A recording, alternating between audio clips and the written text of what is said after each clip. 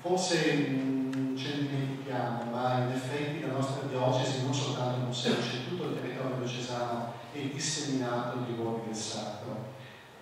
Lo scorso ottobre, nell'ottobre del 2009, il nostro giornale ha dedicato anche un bel insetto proprio ai capitelli. Allora vorrei iniziare questo mio breve intervento citando quel che scriveva il nostro caporedattore della cultura Lorenzo Bonazzo.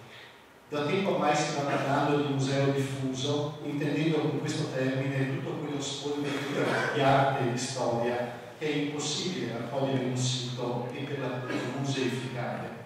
Museo diffuso nel Veneto sono le ville e le dimore storiche dalle volte incrostate da affreschi, le chiese e i santuari impreziositi da statue e tele ispirate a una sacralità ufficiale condivisa, ma ancora più diffusa, nebulizzata quasi nell'aria che si respira, è la presenza del sacro veicolata dalle piccole isole di cui è disseminato il territorio, legate a una devozione familiare e meno formalizzata. Questi segnali stradali che indicano il cielo hanno assolto per secoli l'incarico di rammentare a chi passa che lo sguardo dell'uomo ha bisogno di guardare oltre per vedere meglio ciò che gli sta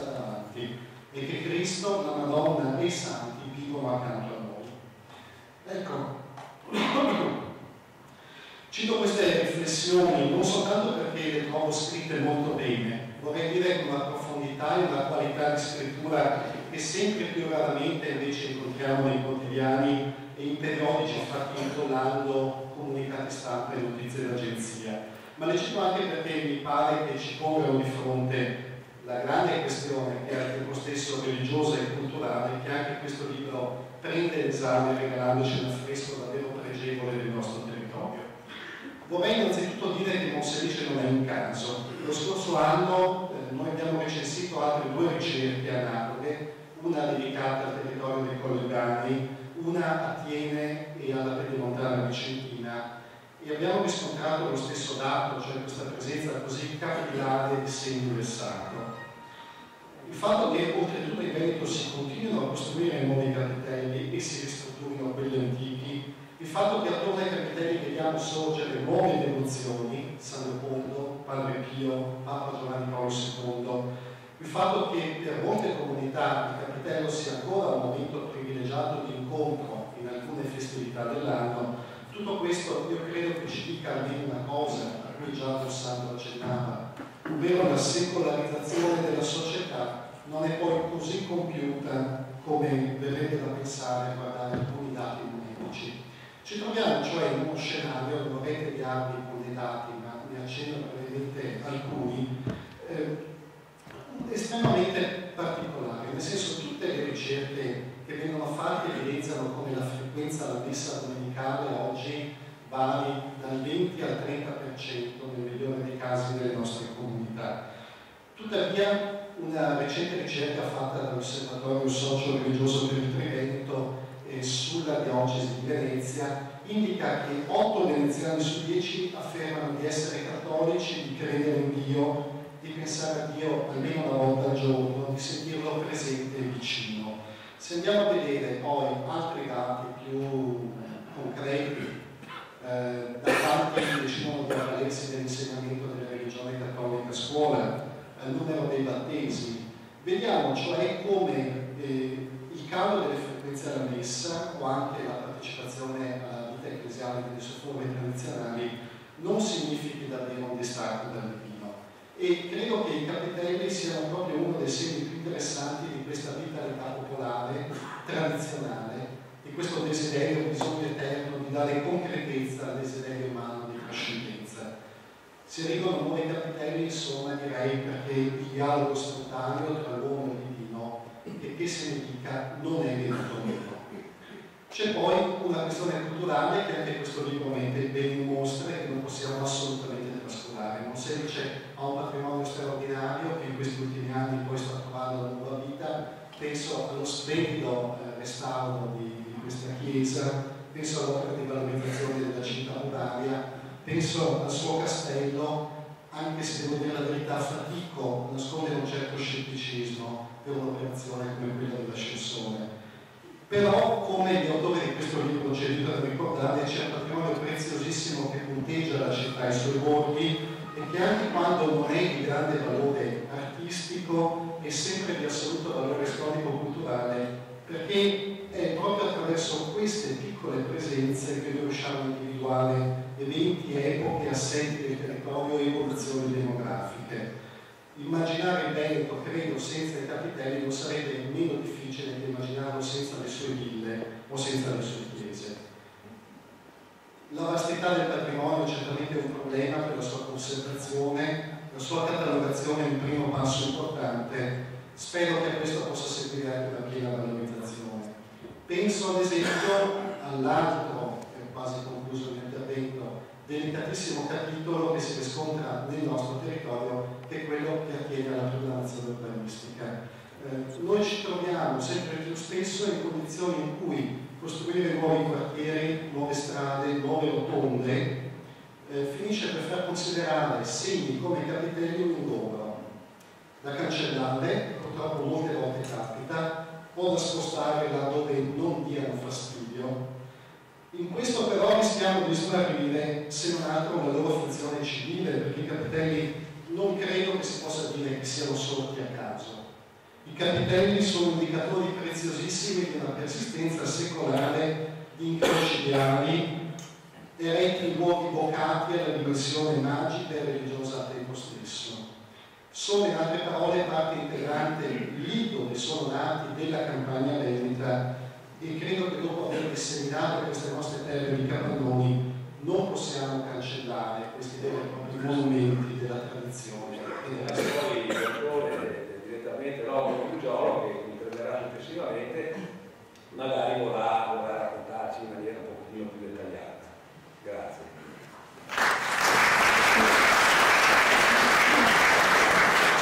Grazie a Maurizio D'Amato, grazie per la sua pazienza, per il suo lavoro molto, molto preciso. Ecco, adesso chiediamo l'intervento del professor Gato Arando, il nostro storico di Buon 16, che ha fatto un saggio di introduzione molto bello, molto ampio. Eh, prego. Il capitello poi è uno straordinario deposito di memoria, memoria religiosa, abbiamo già sentito dire molto bene da questo punto di vista, e anche un deposito di memorie artistiche. È vero, molti di questi capitelli sono semplici nella loro realizzazione, sono direi quasi fabbricati con le proprie mani, in realtà quindi da questa architettura così povera, così immediata, spesso e volentieri c'è anche la capacità di chi realizzati a livello magari abbastanza elementare di dare degli ornamenti, di fornire anche degli elementi di carattere architettonico, riprendendo qualche modello, qualche suggestione, qualche suggerimento dai grandi palazzi. E se dovessimo puntualmente esaminare i capitelli da questo punto di vista, credo che troveremo delle belle sorprese. E poi soprattutto per quanto mi riguarda, il capitello è un deposito. Il capitello, io ho cercato nell'introduzione di mettere in evidenza alcuni di questi aspetti, eh, è un filo che ci porta lontano nel tempo, ci porta indietro di, di secoli e secoli, addirittura di migliaia di anni, perché noi abbiamo conservato una sensibilità diffusa e popolare quelle tradizioni, quei comportamenti, quella visione del mondo che era anche dei nostri antenati di quelli più lontani, di quelli che noi chiamiamo gli antenati della preistoria, perché il desiderio di entrare in rapporto con la natura considerabile evidentemente nella sua dimensione così anche religiosa, il desiderio di entrare in rapporto con queste entità che stavano, si percepiva che stavano al di là sopra eh, della, di quello che era così il livello di vita quotidiana, era una, una esigenza sentitissima anche nel passato lontano. E quindi si pensava che queste entità religiose potessero manifestarsi in maniera alle volte favorevole, alle volte sfavorevole, nemica, proprio in certi punti particolari, per esempio nell'incrocio delle strade. Ed ecco che su questi incroci, fin dai tempi dei romani e addirittura anche prima, si cominciarono a costruire dei punti di riferimento, di, era chiamato compito questo luogo di incontro dei nostri quadrini, su cui poi sono amate le gente a non finire la cosa che, che mi ha sorpreso quando io ho cominciato a interessarmi di capitelli molti, molti anni fa, io con i ragazzi di scuola insegnando per più di 40 anni, quindi ho avuto la possibilità di incontrare moltissimi giovani, mi invitavo a fare delle esperienze di ricerca personale perché ero convinto eh, che il migliore insegnamento che potessi dare era quello di convincere i ragazzi a fare le cose con le proprie mani. Quando un ragazzo è capace di scrivere con suoi mani, cioè di elaborare, di sviluppare un itinerario di ricerca, diventa autonomo, credo che abbia raggiunto veramente la maturità giusta, al di là delle idee, al di là delle emozioni. E quando ho cominciato a cercare i ragazzi, eh, la storia di questi capitelli. Mi è venuto incontro parlo degli anni 70, quindi ormai un secolo fa, mi è venuto incontro un materiale di straordinaria ricchezza, leggende, tradizioni, superstizioni, storie di streghe, di diavoli, di apparizioni. E tutto questo mondo era confinato così nella memoria di questi anziani che spesso si vergognavano quasi di raccontare perché, perché erano convinti che fossero cose fossero cose stupide, che fossero cose banali, invece era lì la sostanza vera della nostra tradizione profonda. E questo filo che ci congiunge al passato e che ci porta, ci spinge verso il futuro, cioè questo desiderio di trascendenza, questo desiderio di incontro con il, con il divino. Quindi la memoria storica di un capitello è di una straordinaria importanza dal mio punto di vista. Poi io mi sono interessato anche dei santi, parlavo prima delle sette chiese, titolare questo straordinario monumento che abbiamo con queste indulgenze uniche nel mondo, a parte la visita delle sette chiese, delle sette basiliche romane. Ebbene, io quando ho cominciato a interessarmi di questi santi, eh, in particolare di San Sabino, di San Valentino, eh, mi sono chiesto, constatando che ormai questi santi non sono più eh, la santa a cui è dedicato il loro letto Santa Giustina, io credo che non c'è nessun capitello dedicato a Santa Giustina, nessuno ha si sogna di, di titolare un capitello a San Sabino. E mi sono chiesto qualche volta, ma chi è stato l'ultimo che ha invocato questo santo? Quando è sempre perduta la memoria di questi nostri santi così antichi? Alle volte anche un po' leggendari, un po' così avvolti nella nebulosità del passato. E San Sabino è rimasto vivo fino a ieri, nel patronato San Sabino, me lo ricordo, quando ero ragazzo, ragazzetto, si poteva ancora frequentare, adesso dove sorge la gradinata del Duomo Nuovo. È stato confinato in Abruzia, nella, nella zona lì che va verso Barriere dei Cardini,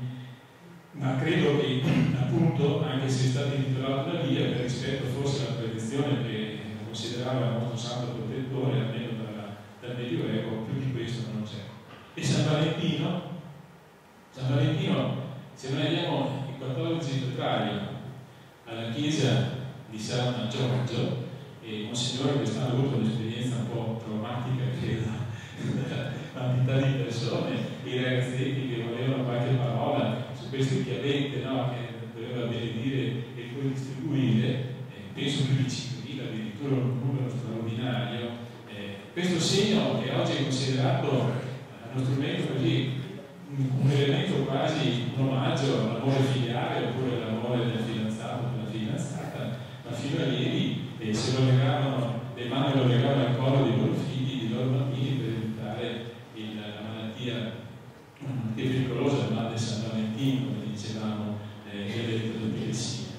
E c'era questo, questa fede, questa, questa profonda desiderio comunque di salvaguardare anche la, la nostra salute, non solo quella degli uomini, anche quella degli animali, appellandosi l'aiuto dei santi, San Polo, eh, protettore degli animali, San Sant'Antonio, naturalmente il nostro di Padova, ma anche Sant'Antonio eh, che è vissuto nel deserto mille anni prima, Sant'Antonio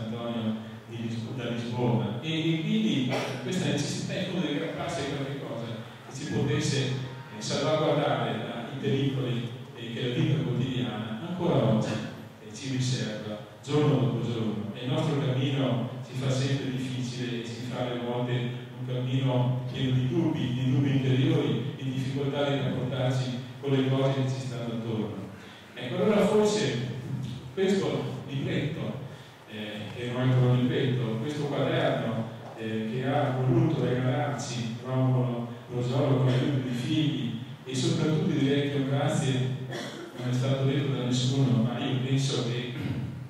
devo dire anche grazie alla moglie di Romolo che ha sopportato pazientemente, che sopporta pazientemente quelle che sono le manie, tra virgolette, del marito. Eh, diciamo libro. Io lo chiamerei un salvadanaio, cioè un salva memoria eh, che è consegnato alla città e consegnato a tutti noi perché possiamo continuare a tenerne conto, a valorizzarlo e soprattutto sperando che possa servire così come stimolo di, di pensamento, di meditazione e forse di una riflessione interiore di cui abbiamo veramente bisogno. Grazie. Autore del libro. Vi ringrazio per la vostra presenza, per, la, per l'amministrazione che mi ha accettato in questa, in questa, manifestazione e come ha detto il professor Rolando devo ringraziare la moglie che è stata un ottimo spa della ricerca di Capitelli.